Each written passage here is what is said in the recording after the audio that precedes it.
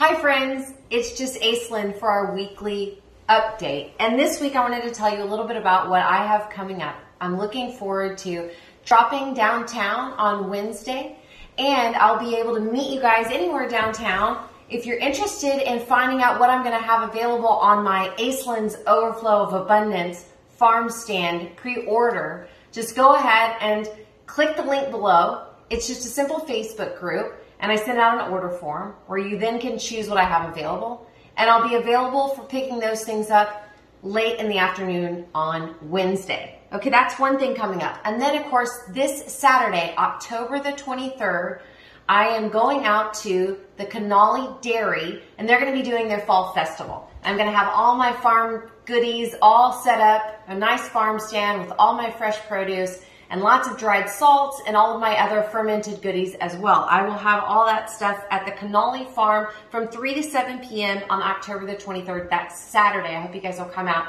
to not only get some goodies from me and all the other awesome local vendors, but also to check out the amazing dairy to get some of their great products and to definitely check out their beautiful baby cows. Okay, don't also forget that October the 29th and 30th, we'll be doing our Roundout Corpus Christi. We've moved to the farm moving sale.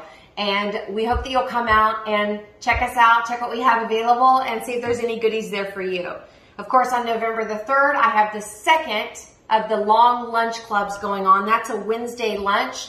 I'm going to be focusing on some interesting things this time. Definitely going to have lots of peppers available. I'll show off lots of different ways to use radishes, parsley, and other delicious herbs and flowers. Now, I wanted to be sure and talk to you guys about some gardening tips. It's just Aislynn's South Texas planting guide and gardening tips. And one of the things after the last bit of rain that we just recently all got here on the coast we are needing to weed and seed. So that means going through your gardens as quickly as you can and moving out the weeds and then going in and planting new seeds. Planting seeds for your root vegetables like your carrots and your radishes, any stalks like celery, things like broccoli, Brussels sprouts, any of the flowers you're trying to grow, and of course any bulbs as well.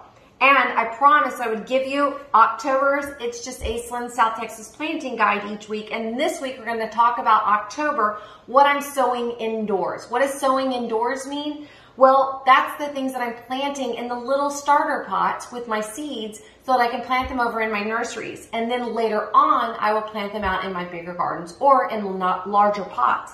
Those are things like all of my herbs and flowers, chamomile, bachelor's button, hollyhock, lavender, calendula, pansy, snapdragon stalk, echinacea, lemon balm, sage, thyme, oregano, so many great things that you can be growing this time of year in your little indoor growing spaces.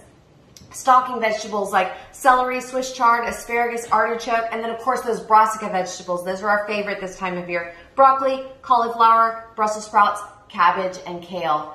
And that's really what I have for you guys this week. I'm looking forward to having a fantastic week myself. I hope to see you guys out in the community. I wish you the best week ever, and I will see you soon.